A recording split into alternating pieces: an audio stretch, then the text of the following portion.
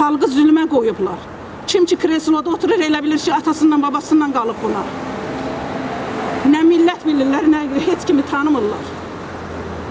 Mən indi üzümü Kamran Əliyeva tuturam. Məni birinci gün qəbul eləmədi. İndi zəhmət çəksin mənə mənzillərindən birini versin. Mənim getməyə yerim yoxdur. Xəstə adamam.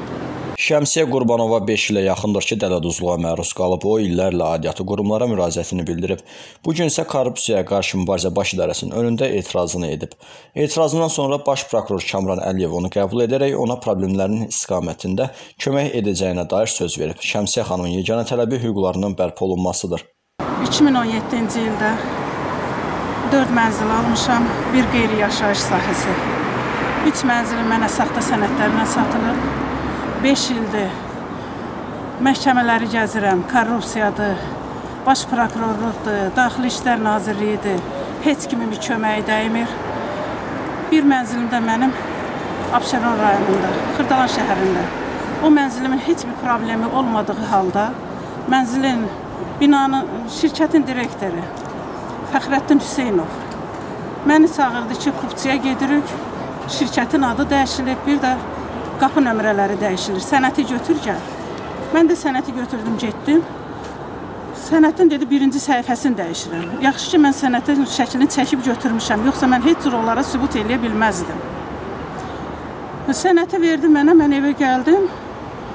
10 gündən sonra məni məhkəməyə çağırdılar. Mənim sənətimdə götürüb dəyişiklik eləyib, saxtalaşdırıb, əlavə bir bənd ora əlavə eləyib ki, güya mənim qohumum, bacımın kürəkəni Şamil Omarov şirkətə borcu olduğu üçün mənim mənzilimi girov götürür. Məni məhkəməyə verdi. Məhkəmədə işi bilməyən, işdən başı çıxmayan hakimlər əlimdə bəs qədər mənim nə deyirlər ona? Sübutlar. Sübutum olduğu halda hakim qərar çıxartdı ki, lazımı qədər sübutlar olmadığına görə mənzil şirkətə geri qaytarılsın. Sonra mən verdim apellyasiya, apellyasiya şikayəti mənim qərarımı, onların qərarını ləğv elədi. İndi də bir ildən çoxdur mənim işim korrupsiyadadır. Gəlirəm, bu gün olacaq, sabah olacaq. Mən də mənzili, saxta sənədlə alınmış mənzilimi təmir bir köçmüşəm. Ev yəsi verib məni məhkəməyə. Mən də ev, ayın axırında mən evdən çıxmalıyam. Siz bu idarədə olmusunuzmu? Kimin qəbulunda olmusunuz və nə deyirlər? Dəfələrlə olmuşam. Müstəntiq əvvəl heç aşağı düşmürdü, elə telefonla ya da ki, vəsil, vəkilin vasitəsilə mənə cavab verirdi ki, arxain ol, məsələ həll eləyəcək. Üzə bir ildən çoxdur, mənim işim buradadır.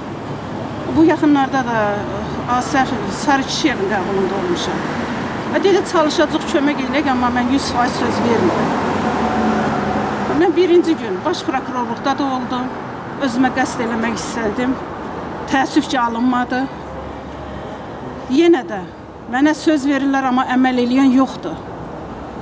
Bu Dələduz da ki, mənim mənzilimi Asəf Sarkişev mənə deyir ki, sənin mənzili satsaydı biz ona cinayət işi qaldıra bilərdik.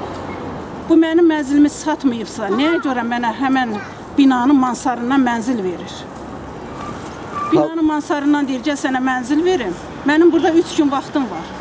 Birincisi, mən öz mənzilimi istəyirəm. İkincisi, heç onu da istəmirəm. Mənim pulumu versin mən oturduğum mənzili təhvil verməliyəm. İndi də üzümü tuturam Kamran Əliyevə.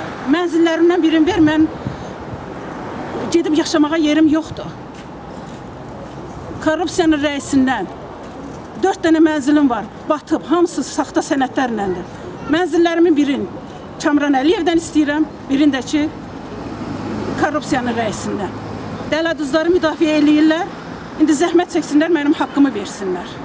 Mən xahiş eləyirəm prezidentimdən mənə kömək eləsin. Bu dələduzları müdafiə eləyənlərin axırına çıxsın. Xalqı zülmə qoyublar. Kim ki kresloda oturur elə bilir ki, atasından, babasından qalıb buna. Nə millət bilirlər, nə heç kimi tanımırlar.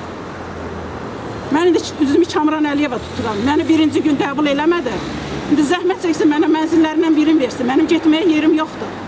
Xəstə adamam onkoloji xəstəyəm. Sizin bu probleminizin həll olunmamasında sizcə səbəb nədir? Səbəb odur ki, dələduzlardan rüşvət alırlar, mənim işimi gecikdirirlər. Bu gün sabaha salıblar.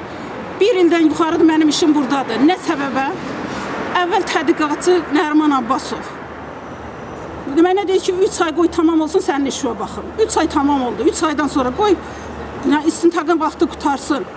6 ay onda qaldı. Sonra dedi cinayət işi var göndərdi cinayət şöbəsinə.